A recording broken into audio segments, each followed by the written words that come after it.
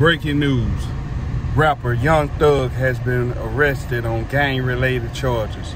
Some sources report that it could be a murder involved. Again, breaking news. Atlanta rapper Young Thug has been arrested on gang-related charges. Listen, young fellas, I say this all the time. Be careful of what you do in the past because you think you got it behind you and they can creep up on you. That's very hard. It's very hard for the young man.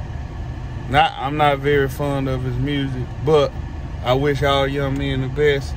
And with Young Thugs, uh, the mother of his child recently passing, it's gonna be a tough situation for his children. Again, rapper Young Thug arrested on gang-related charges. This is the deprogram moment, and we gone.